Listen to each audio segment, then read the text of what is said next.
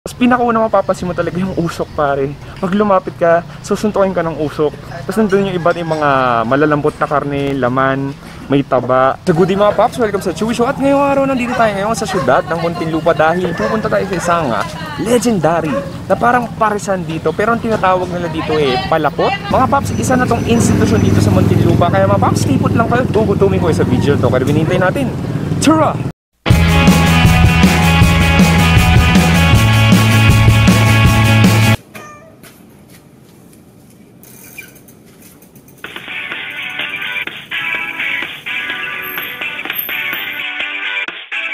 Guess we had a connection. At least I thought that we did.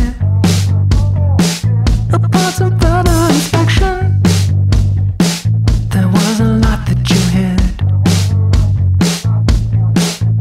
Oh, talk is cheap, talk is cheap. Yung laman yan, pag naluto, dinadala ko sa taas. Tapos, Dito na hiwain ah, sa taas. sinachap-chap nila doon. Oo. Pag mag-order doon, nasa taas. Oo. Ay, parehas naman itong luto, pero eh, Timpla. Sa Timpla nagkakaiba. Ibang timpla. Dapat- Tsaka ano to, malapot talaga. That I was always the glue, but here we are. I wanna keep on keeping on, 'cause I don't know when to fade out.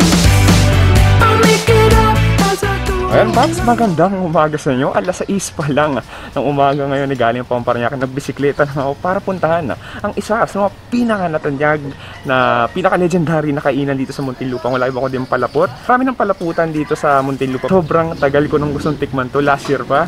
Eh, pero ngayon lang yung chance. Bubungad sa'yo dito, Paps, isang malaking, as in, isang malaking kaldero. Parang ah, kalahati nito yung height ko. Tapos nandun yung iba't ibang ah, malalambot na karne.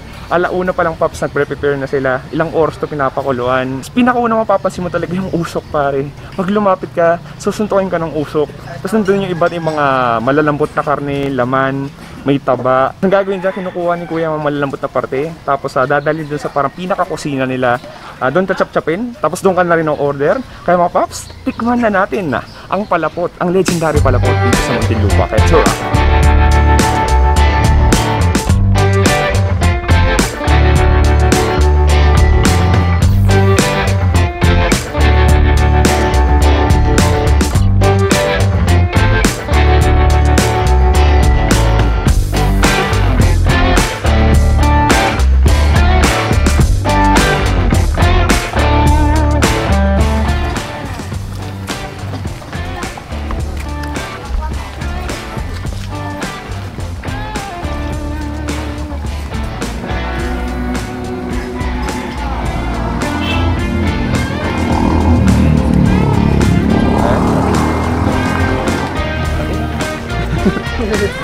Ayan, Paps, ito na ang ating ah, breakfast. Ito ang ah, palapot. Ito meron silang tinatawag na parang special. So meron dito eh, bukod sa laman taba, meron tong atang utak. Ayan, Paps, kung makita nyo, no, yan yung consistency niya eh, medyo malapot nga. At makita mo, punong-puno to ng karne. Taba, meron tong ah, garlic. Tapos nakita ko kanina lagyan ng ah, nor seasoning. Ayan, Paps, sobrang ah. Maintinit man gawin natin eh, kumuha na tayo ng ah, sabaw muna. Ayan. Palapot dito sa Muntinlupa.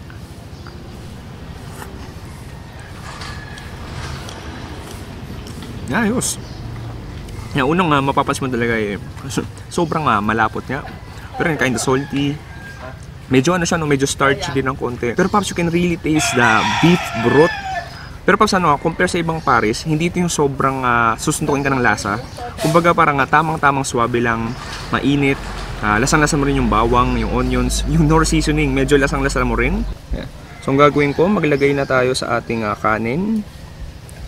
Ayan.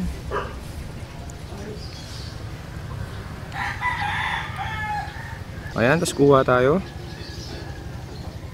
Ayan, Pops, one mouthful bite. Mmm. Sobrang lambot dun, Pops. Yeah, sobrang lambot. Pero maganda dito pare. Yung gamit talaga nilang baka is baka talaga. Hindi yung parang, ah, tawag dito yung mga bits-bits lang. Tapos alas 11 Pops, ubus na sila. Ang pinaka peak time dito sa alas 7, alas 8. Actually, hindi ko alam kung paano kinakain to. Pero siguro, ilagay natin konti.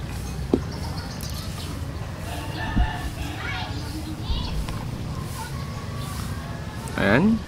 Isa pa. Alam mo, Perfect kunyari. Lasing ka. Ito yung, ah, I think ito yung ating pinakasikat na hangover food dito sa Muntinlupa o mga tiga South. Ayan.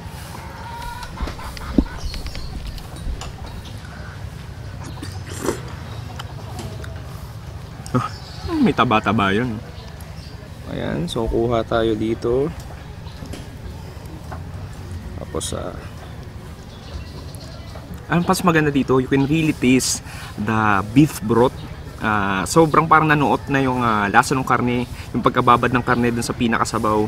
Tapos bite para sa yung paps, palapot dito sa Muntinlupa. So yun mga Paps, tapos na natin tikman ang ah, legendary palapot dito sa Muntinlupa. So Paps, yung, mga- yung recipe nitong palapot ay galing sa Rosario, Batangas. Kasama ko sila kuya dito. Kuya, baka gusto bumate. Kuya, kuya Boy, no? Kuya Boy tsaka kuya Gildar yan. So Paps, sila yung mga batak na batak na legenda sila sa pagluto ng ah, palapot. Kuya, maraming salamat. Ah, this is awesome pare. It's a must try. Nagigets ko na bakit ang daming motorista, ang daming ah, kahit mga taga norte pa pumunta pa dito sa Muntinlupa para tikman yung kanilang palapot. Kaya mga paps kayo, kung gusto nyo pinuntahin dito sa Amparo, Poblacion, Muntinlupa, syempre kung nagustuhan nyo yung video ito, huwag kalimutan like and share, subscribe sa YouTube channel na Chewy Show ako si Paps Chewy nagsasabi nga, stay safe, it's a good night and good bye. Bang!